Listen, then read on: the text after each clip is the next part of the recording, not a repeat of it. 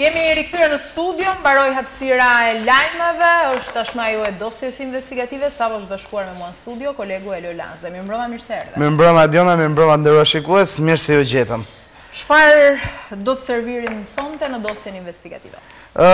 Ja, Letra. Ja, ja ku i kemi këtu në tavolinë.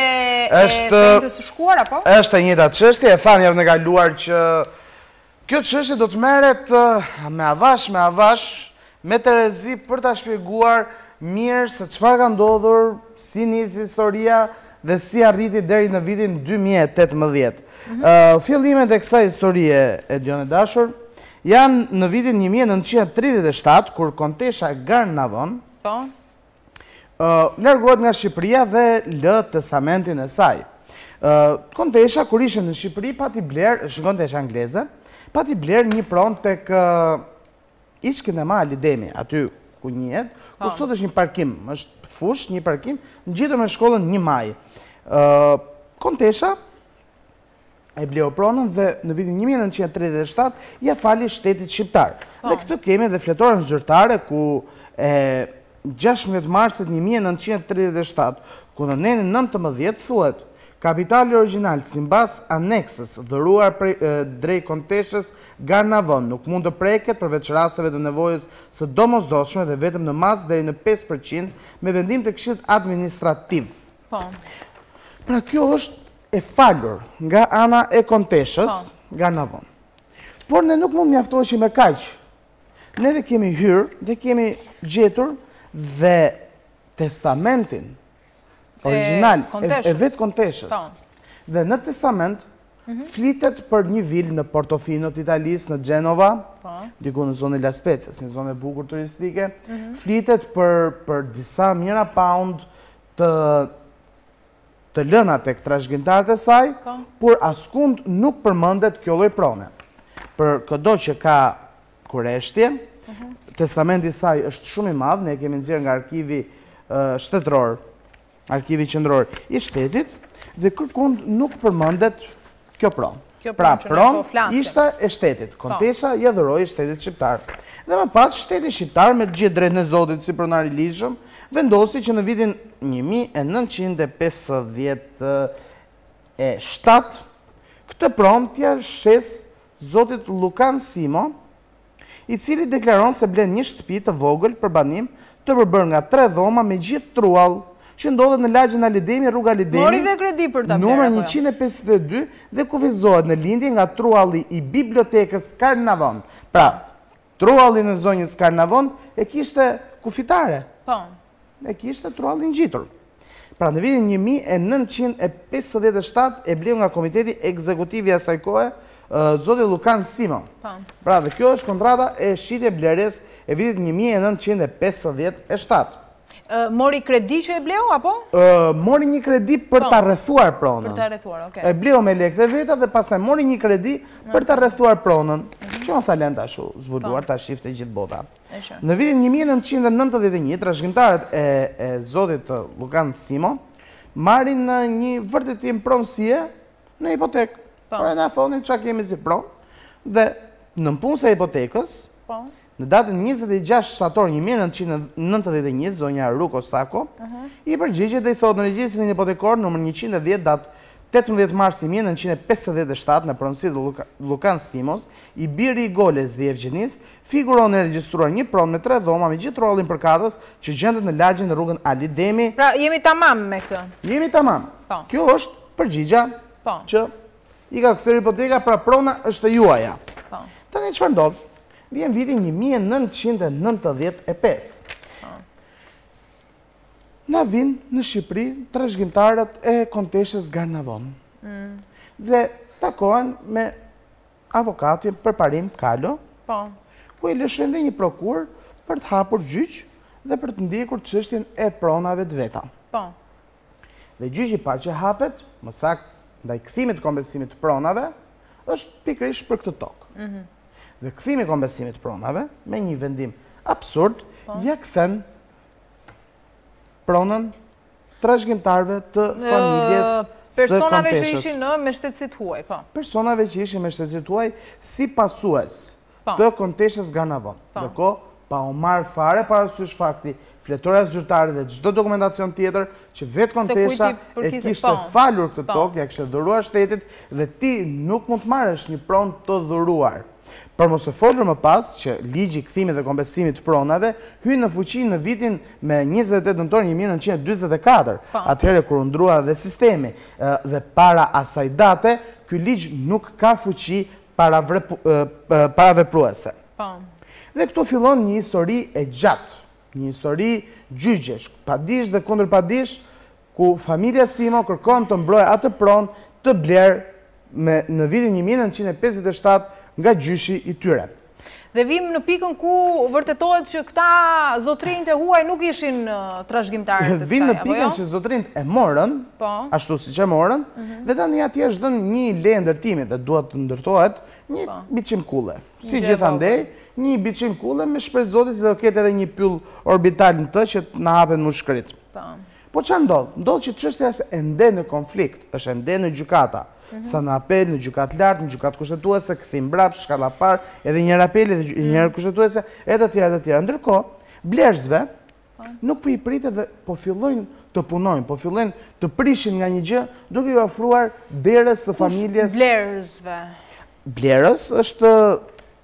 Biznesmeni zoti Vladimir Kosta, ah, ish-deputeti i Partisë Socialiste dhe zoti Mirton Lika, po.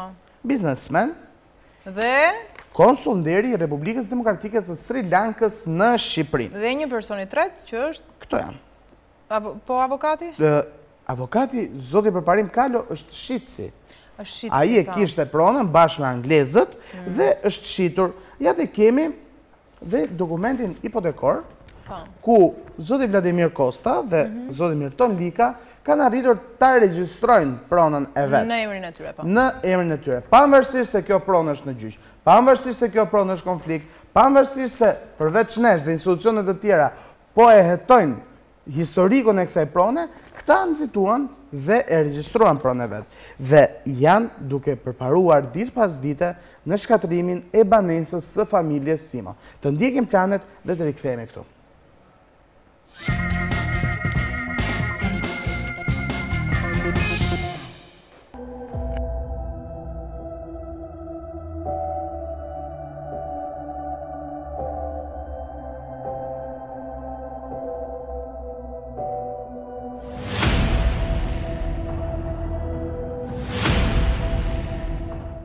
Zoti Tashi, një javë pas emisionit dosja investigative në Channel One, çfarë ka ndodhur aktualisht me pronën tuaj? Një javë mbas u prish përdhe muri, këtu kanë ndodhur këto veprimet që ju dhe mund të shikoni dhe në kamerë. Praktikisht këtu çdo ditë duke filluar nga entja e kaluar, këtu është hedhur nga një kamion dhé në ditë, mund ta shikoni edhe kamionin që është atje, i cili shkonte vinte mbushej. Çdo herë që këtu kishte një lëvizje, ne si qytetarë kemi marrë policinë e shtetit në mënyrë që të raportojmë atë që ka ndodhur. Sapo ata iknin, kamioni lëvizte, rimbushej prapë dhe fillonte dhe shkarkonte të nesërmen. Ne në polici, babai im aktualisht u mundua dhe të bënte një kallëzim për sa i përket situatës që po ndodhte.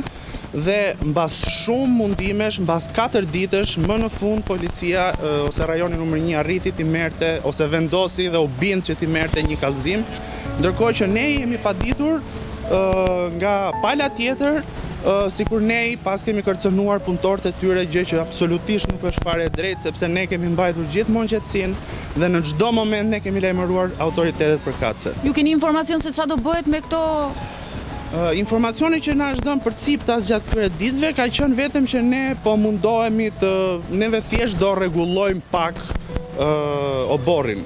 Aktualisht në çfarë gjendje është situata? Ju jeni në proces gjyqësor? Ne jemi në një proces gjyqësor, mbas tre shkallëve e cila është ndjekur çështja e truallit, ne e vazhduam procesin ligjor le të themi dhe e hodhëm dhe në gjykatë kushtetuese dhe gjykata kushtetuese në 2014 mos gabohem e ka shpallur vendimin që është marrë në gjykatë të apelit dhe në gjykatë të lartë si një vendim kundra kushtetues, i cili shkel kushtetutën e Shqipërisë. Cili është apeli juaj për gjithë institucionet dhe si e shikoni zgjidhjen e gjithë këtij konflikti? Neve duam që deri në momentin që gjykata do dali me një vendim të prerë kundra nesh, atëherë ata që pretendojnë që kanë certifikatë pronësie apo që kanë dokumenta mund të bëjnë çfarë të duan, por deri në momentin që gjykata thotë që kjo pronë është e filanit apo e jona, neve nuk duam që të krijohet asnjë veprim, sepse ne kemi dhe probleme të tjera. Ka ca pirgje me dhe që unë me thënë të drejtën në shiun e parë të madh që do bie unë trëmbem se çfarë do ndodhi me shpinë tonë.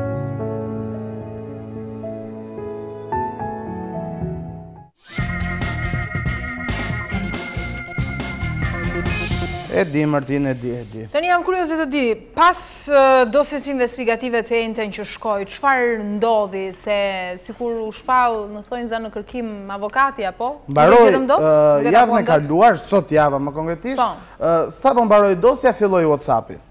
Që? Filluan sherre, shamatarat, pakënaqësitë, mesazhet, pse s'u përmenda unë, po ky tjetri, po unë ku hyja, po unë ku isha, po unë nuk isha. Mos më thuaj që i bëre bllok. Një nga personat më të lënduar, domethënë dy ishin po. personat që u prekën nga kjo histori, ishte zoti Përparim Kalo dhe zoti Mirton Lika. Po. Pse na ke përmendur e të tjera të tjera. I kam dhënë një sqarim në WhatsApp të dy zotërinjve, mm. Por për të qenë transparent, po. do ta jap të njëjtin sqarim, do ta jap edhe para publikut. Unë personalisht nuk kam pronë në atë vendin ku ne po flasim. Dhe nuk kam as njohjen më të vogël, as me zotin Përparim Kalo dhe as me zotin Mirton Lika. Ne jemi këtu si një palë për të përfaqësuar qytetarët e pamundur të cilët bredhin poshtë e përpjetë dhe nuk e gjejnë të drejtën e tyre. Na kanë pyetur se pse po e bëjmë ne këtë gjë. Përgjigja e parë që po japim është që neve këtë gjë po e bëjmë sepse ky ky qytetar, mhm. ky popull nuk ka as edhe një vend ku ta gjejë shpresën dhe të drejtën e vet. Shkon në shtet dhe shteti tallet, shkon në polici dhe nuk i merret kallëzimi, shkon në bashki dhe nuk i përgjigjen, shkon tek privati dhe e nxjerr përjashta. Për këtë arsye, si shpresë e vetme, jemi ne dhe emisionet si motrat tona, të cilat janë të vetmet që mund të marrin një përgjigje sepse këta qytetarë po kapen nga zhelet dhe po nxirren nga shpiat e tyre. Ne e përmendëm emrin e zotit Përparim Kalo, po. sepse këtu kemi një prokurë të datës 8 nëntor, ose 18 nëntor, nuk duket mirë, sepse është shumë e vjetër, e vitit 2003, po. ku zoti Përparim Kalo, si përfaqësues i anglezëve, Robert John Grant dhe Oberon Alexander Bernard Drew, ka firmosur një prokurë ku ia ka deleguar dy avoketërve të tjerë mhm. çështjen për ta ndjekur në emër të zotit Kalo, pra për të rikthyer një pronë të falur dhe kërkesa jonë që ne bëmë herën e parë kur vajtëm në zyrën e zotit Përparim Kalo ishte se si Përfaqësove një çështje në gjykatë për të rikthyer pranë trashëgimtarëve një pronë të falur nga e para e tyre. Një përgjigje të tillë atë ditë neve nuk e morëm dhe normalisht proceduam emisionin. Kjo gjë nuk i pëlqeu zotit Kalo, të cilit neve sot sërish, sërish i vajtëm në zyrë. Jo unë sigurisht, sepse mund të më merrte inat, ngaqë e kisha bërë. Vajti Sonila. Ta ndjekim pak, sepse kemi një komunikim shumë interesant me zotin Kalo në telefon dhe rreth para dhjetë minutave se të fillonte programi ynë, po. na ka mbërritur dhe në WhatsApp një reagim nga zoti Kalo që do ta do ta lexojmë. Të ndjekim përpjekjen e Sonilës sot dhe kthehemi në studio. Po.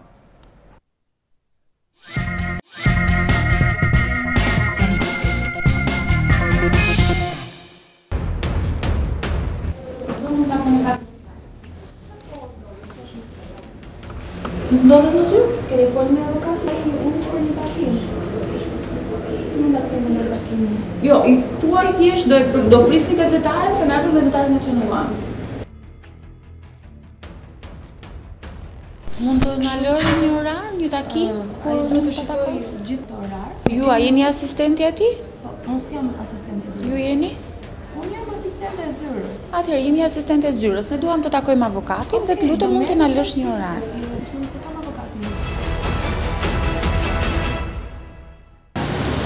Një javë pas emisionit dosja investigative në Channel One, stafi i emisionit është drejtuar në zyrën e avokatit Përparim Kalo për ta takuar atë personalisht në lidhje me pretendimet e tij. Por siç u pa dhe nga pamjet, avokati nuk ndodhej në zyrë dhe për të marrë një përgjigje nga vetë avokati, ne po e telefonojmë. Dhe e pyesim në lidhje me pretendimet që ai ka ngritur ndaj grupit të xhirimit të dosjes investigative.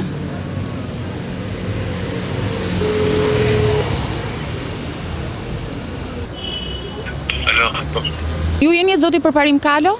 Po. Unë jam Sonila Musa, jam gazetare nga Channel One, nga emisioni Dosja Investigative. Po, po, përdo. Avokat, po ju marrim për një çështje që dosja investigative trajtoi javën e kaluar,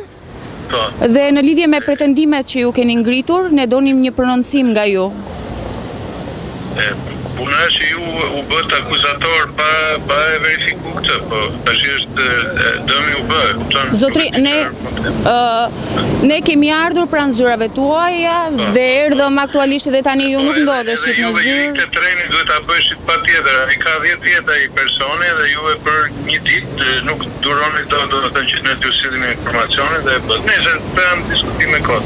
Unë tash jam te spitali gjerman, sepse ika në kohën që po zbrisja, më thanë te hyrja atje që kanë ardhë gazetarë në katën e pestë. I thashë asaj vajzës mos vinë kështu sikur janë njësi guerril, por të vinë me një axhendë, të thonë që do vinë në orën kaq, po jo kështu si vini ju, ça ça jeni ju njerëz që përdorni këtë si armë kështu. Televizioni, se s'e kuptoj. Ne jemi gazetarë. Keni parë këtë që të vijë gazetari kur t'i dojë qejfi. E kupton se njoftohet, se ne jemi institucion. Patjetër. Okej. Atëherë mund të më lini një takim, një orar për të më shpjeguar më tepër se ça po ndodh rreth kësaj çështje dhe se si është bërë kjo akt shitje. Nuk di që fare ça ndodh. Unë. Ju jeni avokat i çështjes.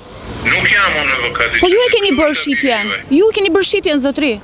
Po pra, shitja ka mbaruar në dy mijë e shtatë. Po pra, pikërisht ne duam të dimë më shumë informacion se si është bërë kjo shitje. Ikni te Hipoteka dhe te Noteria, ok. Zotri, po ju jeni avokat, ju jeni përfaqësues i kësaj çështje në shtet, në gjykatë.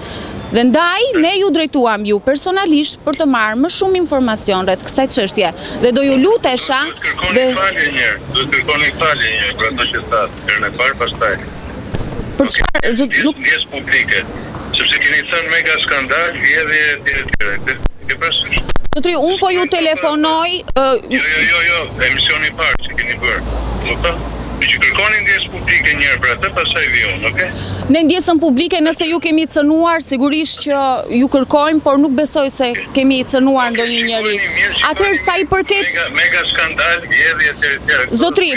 Nuk ke bërë zgjedhje e me tut. Zotri, përpos, përpos kësaj, zotri, duam një përgjigje.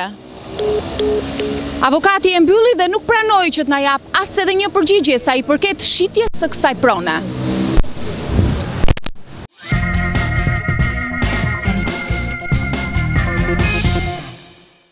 Pra, ishin disa momente aty Ediona që po.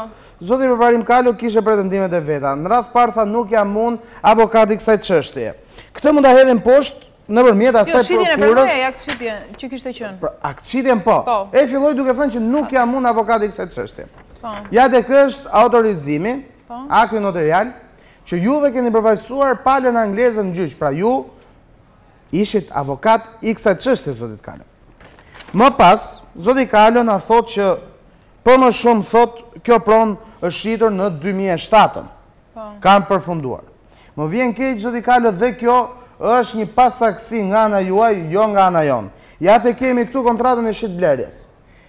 E firmosur dhe e vulosur pranë noterit, ku juve, Përparim Kalo, dhe bashkë me anglezët, i keni shitur zotit Vladimir Kosa dhe zotit Mirton Lika për një milion e tetëqind mijë euro atë pronën aty, për të cilën po flasim. Dhe bëhet fjalë për datën gjashtëmbëdhjetë i pesti dy mijë e shtatëmbëdhjetë dhe fare datën dy mijë e shtatë, sikundër juve pretendoni.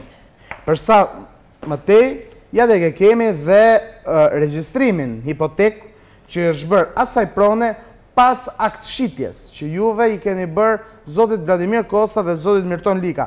Pra, nuk po bëhet fjalë këtu për çështje të dy mijë e shtatë-s apo nuk e di pretendimet e juaja. Gjithsesi, siç thashë, disa minuta më përpara na erdhi dhe në WhatsApp reagimi një shkresë zyrtare, që i quhet, mm. drejtuar Radio Televizion Channel One dhe Ora News, si njëjti grup mediatik, ku pavarësisht Ora News-i nuk ka lidhe me këtë çështje, data 8 nëntor 2018, lënda përfaqësimi Elizabeth Herbert. Ndër të tjera thuhet, në vijim të kërkesës suaj, shpërndarë në zyrat tona të avokatisë Kalo Associated, me 30 tetor 2018 dhe në vijim të thirrjes telefonike që nga gazetarët e Channel One iu bë sot avokatit Përparim Kalo, pra telefonatës së Nilës, mhm. ju informojmë se avokati Përparim Kalo është autorizuar me prokurë nga trashëgimtarët e subjektit të shpronësuar Elizabeth Herbert, përkatësisht zotit Robert John Grant dhe zotit Alexander Bernard Drew. Trashëgimtarët e përmendur kanë lëshuar prokurë të posaçme pesë dhjetor nëntëdhjetë e gjashtë, duke autorizuar avokatin Përparim Kalo që t'i përfaqësojë për të mbrojtur të drejtat e tyre ligjore, Po, e dimë këtë pjesë. Pyetja jonë është çfarë i përfaqësove, për çfarë prone kur e para e këtyre trashëgimtarëve ia kishte falur shtetit shqiptar dhe nuk mund të rikompensohet, ose të kompensohet ose të merret mbrapsht një pronë e falur. Kjo ishte pyetja e parë që juve nuk na u përgjigjët. Ne po ia bëjmë ligjërisht në bazë rregullave nuk duhet ta merrte përsipër çështjen. Nuk duhet ta përfaqësonte, sepse ishte në shkelje. Pyetja jonë kjo është. Po, e merr apo nuk e merr? Kjo është një vendim i zyrës avokatore dhe i avokatit në fjalë. Po. Kjo nuk është çështja jonë. Neve thjesht e pyesim se si dhe mbi ç'bazë patët pretendime për të marrë këtë tokë që e morët dhe më pas e shitët për një milion e tetëqind mijë euro. Më tej na thotë, Ju informojmë gjithashtu se sipas nenit dhjetë të Ligjit numër pesëdhjetë e pesë dy mijë e tetëmbëdhjetë për profesionin e avokatit në Republikën e Shqipërisë, kemi detyrim të ruajmë konfidencialitetin e marrëdhënies me klientin dhe për rrjedhojë rezervohemi në dhënien e informacionit të mëtejshëm në lidhje me çështjen. Kjo s'ka lidhje. Zoti Kalo, kjo çështje, që ta kuptojmë, nuk është një çështje e jona. Dhe neve, nëse do ta dëgjonim si thashethem rrugëve, Ne nuk do të vinim të të pyesim se si u bënë këto gjëra, me çfarë dokumentash edhe të tjera të tjera. Ideja është që në çdo lëvizje, në çdo zyrë shteti apo privati që ne kemi vajtur, kemi patur dhe trashëgimtarin e blerësit të asaj prone, zotin Martin me vete. Mhm. Duke qenë se nuk ju hapën dyert siç thatë juve për 10 vite, në fakt janë më shumë, Martini vjen me neve që neve të hapim derën, Dhe Martini të pyesi. Pra kjo është thelbi. Dhe së fundmi na thotë, nuk mund nuk mund të mos shprehim zhgënjimin për transmetimin e emisionit Dosja Investigative të datës 1 nëntor 2018, ku nëpërmjet një pasqyrimi të deformuar dhe të njëanshëm të fakteve, u përbalt avokati Përparim Kalo, i cili ka treguar në mënyrë konstante Për më se dy dekada me qëndrueshmëri etike dhe integritet profesional të tranzicionit tonë të vështirë. Meqenëse ligjet në fuqi në Republikën e Shqipërisë mbrojnë nderin, personalitetin dhe reputacionin nga cënimet përmes përhapjes së informacioneve të pavërteta dhe parashikon edhe dënime penale dhe civile, do të kërkonim që në emisionin e radhës, pra sot, të tërhiqnim publikisht siç edhe shpallët në emisionin e kaluar akuzat për megaskandal dhe vjedhje të shpallura. Do të rrihesh ti? Zoti Kalo, personalisht kam respekt për figurën dhe për punën tuaj dhe për gjithë karrierën njëzet e kusur vjeçare që keni në fushën e drejtësisë. Por, Ju sqarojmë që asgjë nuk ishte personale, as me ju dhe as me studion tuaj. Askush nuk vë në dyshim karrierën apo suksesin apo integritetin e figurës. As me zotin Kosta, as me zotin Mirton Lika nuk ishte një gjë personale. Ideja është që kur na vjen qytetari këtu, siç na erdhi familja Tasho dhe na u ankua me letra dhe me dokumenta, ne ishim të detyruar që të bënim një ndjekje të kësaj çështjeje. Ashtu siç thoni juve si njësit guerril. Në fakt jemi thjesht gazetarë. Që marrim një mikrofon në dorë, marrim dy dokumenta dhe pasi dëgjojmë njërën palë, kthehemi dhe dëgjojmë dhe palën tjetër. Kjo gjë na u mohua nga ju. Na u mohua dhe nuk na e dhatë një përgjigje kur neve erdhëm dhe jua kërkuam. Ndoshta, ndoshta, pas përgjigjes suaj ne do t'ju thonim më fal, kemi gabuar dhe ndoshta Martini që na denoncoi, na mashtroi dhe le të shkojë Martini në burg dhe të heqi dorë nga ajo pronësi. Po ama dëgjo mirë. Por një përgjigje ju duhet na jepnit dhe për respekt Të shikuesve tanë është bërë dhe emisioni i parë, është bërë dhe ky emision, u lexuan dhe këto mesazhe WhatsApp-i, të cilat për t'i kursyer kohë shikuesve tanë nuk po rri të lexoj se çfarë unë personalisht ju kam shkruar ju, por ideja është kjo që sapo përmenda. Në fund Edjona, i lënduar dhe i mërzitur pa fund, ishte dhe zoti Mirton Lika, si konsull nderi Republikës Demokratike të Sri Lankës në Shqipëri. Dhe në një reagim të tij në WhatsApp, mm. Zoti Mirton Lika këtë problem kishte. Pse më përmendni pozicionin tim dhe më shantazhoni me pozicionin si konsull nderi? Sa për mm. kujtesë, i them Zotit Mirton Lika që pozicionin tuaj si konsull nderi i Republikës Demokratike të Sri Lankës në Shqipëri nuk e kemi përmendur ne, por e keni përmendur ju, në ankesën që keni bërë pranë portalit të bashkëqeverisjes, mm. ku thuhet shprehimisht në përgjigjen që i është kthyer familjes Tasho, ju sqarojmë se për objektet që posedon zonja Evgjeni Tashi, me adresë rruga Ali Demi, është paraqitur kërkesë për prishje muri, ndërtimi pa leje nga zyra konsullore e Republikës Demokratike të Sri Lankës. Pra, ju vetë e keni përmendur Republikën Demokratike të Sri Lankës në Shqipëri, me gjasë me pretendimin se aty është një pronë e Republikës së Sri Lankës. Por jo. Aty, në kullën që ndërtohet dhe le t'i themi gjërat, ndoshta Republika Demokratike e Sri Lankës do të ketë një zyrë konsullore, por ajo nuk është pronë e saj. Është njësoj Liona si ai miku im nga Bangladeshi, që e ka rezervuar atë shtëpinë diku në Shkozë.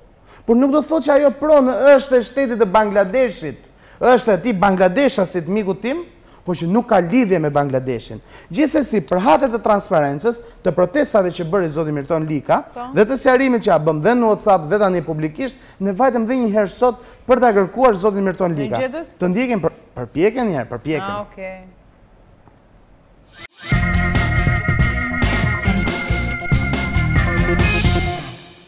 Pas emisionit të dosjes investigative, konsulli i Sri Lankës, zoti Mirton Lika, ka ngritur disa pretendime sa i përket emisionit. Në lidhje me këto pretendime, ne jemi ndalur në mes të bllokut, duke qenë se nuk kemi një adresë se ku mund të ndodhet zoti Lika dhe po e telefonojmë për të marrë një përgjigje sa i përket pretendimeve të tij. Dhe për të qenë sigurisht sa më transparent me publikun, telefonin e bëjmë viva voç dhe telefonojmë zotin Lika. E theksojmë që është konsull nderi i Sri Lankës. Alo. Alo, përshëndetje? Përshëndetje. Dua të flas pak me zotin Mirton Lika. Nuk është në Shqipëri, ka lënë telefonin. E ka lënë telefonin në Shqipëri? Sa nuk është, është jashtë. Po si mund të lidhemi me të, në ndonjë adresë, në ndonjë numër tjetër? Është e pa mundur, pas datës 20 na gjeni. Okej, ne jemi gazetarë të Channel One, do donim shumë ta njoftonit zotin Lika që kemi ardhur për të marrë një përgjigje sa i përket pretendimeve të tij dhe ankesave që ka bërë ndaj emisionit Dosja investigative në Channel One. Do ta njoftoj me sa mundem, po është larg prandaj nuk e njoftoj dot. Okej, zonjë, faleminderit shumë. Faleminderit. Gjithë të mirat.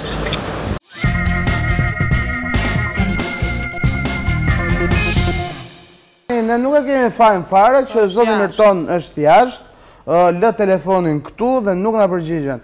Pra, këto materiale, të cilat në dukje ishin thjesht bosh, ishin thjesht përpjekjet tona, po në fakt nuk takuam askënd, janë thjesht për t'i treguar këtyre zotërinjve që mërziten dhe ankohen karshi nesh, që nuk kemi asgjë personale. Neve po jua japim mundësinë që juve të jepni një sqarim për këtë pronë në mes të Tiranës, ku dikush është shitës, dikush është blerës, dhe ai tjetri që na denoncoi është ai që po del për zhelesh nga shtëpia. Dhe për hatër të transparencës ndaj publikut dhe ndaj familjes që po del nga shtëpia vet, erdhëm dhe jua kërkuam. Nëse doni të jepni një përgjigje, mikrofoni që në luajmë i dosjes investigative është njëzet e katër orë në ditë edhe në varësi të axhendës suaj në dispozicion për t'u përgjigjur. Në rast se nuk doni, mund të ndiqni rrugët gjyqësore, por ta dini se ajo që ne kërkojmë është thjesht dhe vetëm një përgjigje.